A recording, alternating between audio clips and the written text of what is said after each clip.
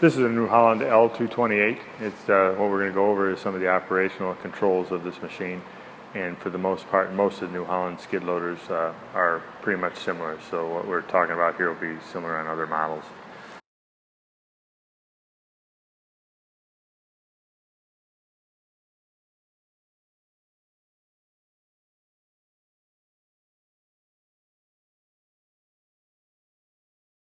This particular machine is set up with high flow hydraulics.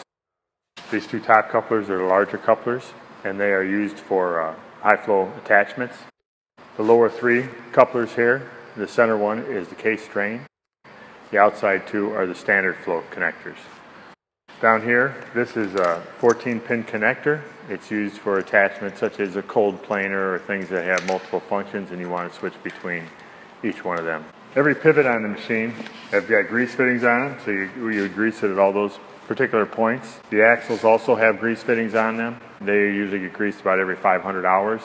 You won't normally grease those except for uh, probably when you change a set of tires and you'll grease them at that point. That's when you'll take the wheels off to get to those fittings. In the front also, the bucket latch, and this one is a manual one, so it has a pair of levers that you would pull up to release the bucket and get onto your next attachment. In the back here is where you would be checking your engine oil and hydraulic oils and do your fills.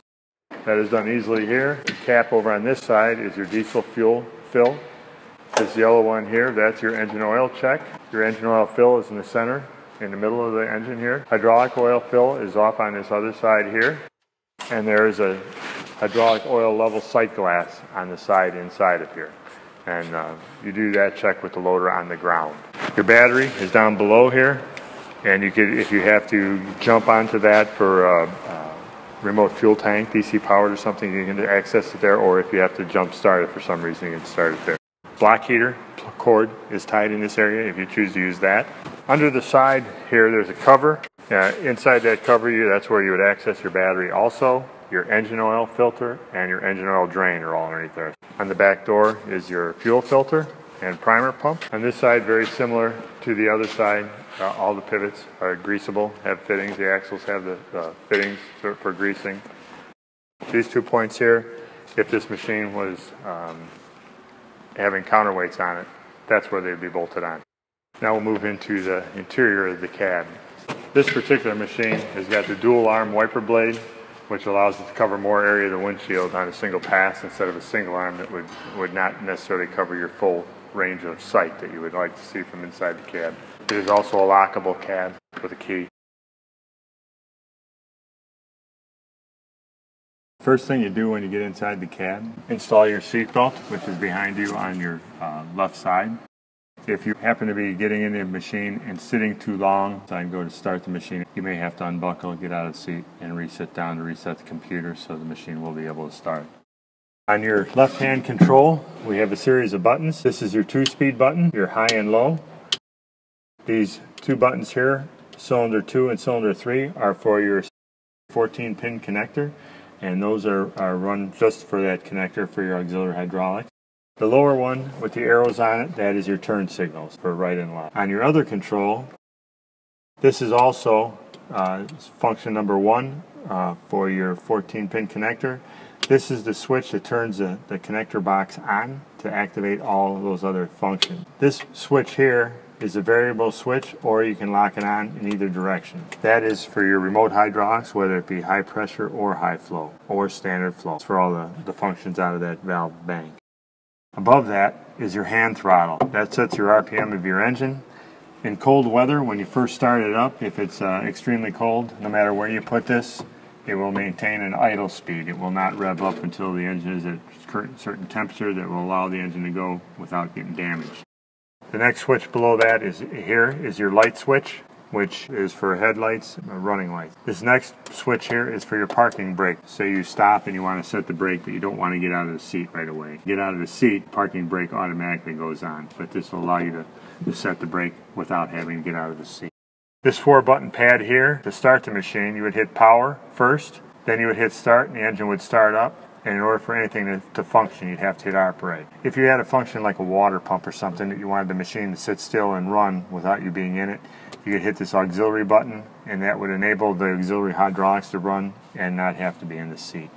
These are also your, your sight glass readings for what you have for hydraulic temperature, water temperature, and your fuel gauge levels. Above that is your hour meter, and then these are your warning lights for any function that might be uh, going bad. Currently, you're seeing parking brake is on, and there's an operator in the seat, but no seatbelt on it at this time. Your other control side, starting at the bottom, is your windshield wiper and washer. Above that is HF and HP. This machine isn't equipped with high pressure, high flow, it's just equipped with standard high flow. So no matter which position this one goes into, it will only be high flow, standard high flow, not high pressure. The one above that, this is a warning flasher. That's for your four ways, which turns your turn signals into four-way flashers. The one above it here is a strobe light. That activates the plug in the back of the cab, a magnet mount mounted strobe light to your roof. The light above it, all that does is tells you that uh, the high speed is on when you're uh, running the switch down below. It just activates and uh, illuminates. Above it here is your turn signal indicators, tells you whether your flashers are going or whether your um, turn signals are on. Above that is your fan speeds for your heater and your temperature control for your heater. Moving to your side windows, as they get dirty, you may want to take them out and clean them. They're easily opened by squeezing this handle and sliding it back. In front, there's two knobs. One is for, for uh, unlocking the slide, and the other one unlocks the latch. You see a window here that's green. As you pull that back, it releases and turns to red. That allows you to lower this rail and take the glass out if you elect to do so to clean windows. You do the same thing in the back. Move it forward with the same type of a window, and at that point it'll lower the rear one, and you can take the rail out and remove the glass complete to, to clean it or to leave it out for summertime.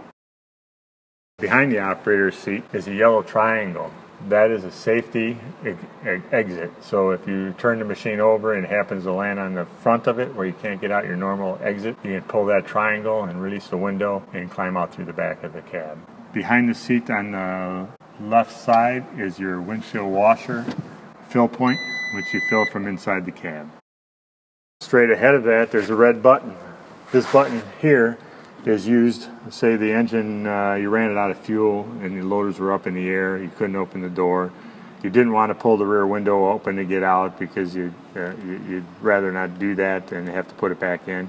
You can pull that button it will lower the lower arms back to the ground so you can exit safely.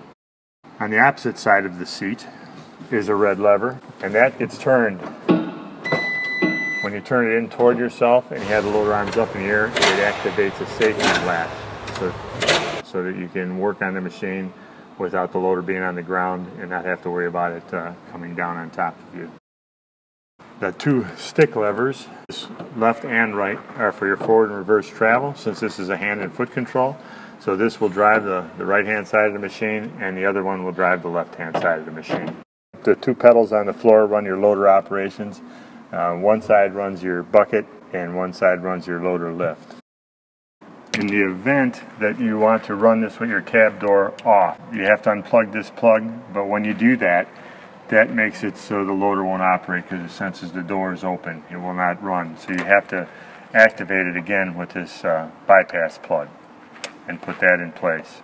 To remove the door, it's just a matter of unhooking a few things like that and lifting the door off. It's ready to come off. Just lift it off the hinges and your, your cab no longer is enclosed. All cab models come equipped with, uh, with a radio and a port for plugging in your iPod.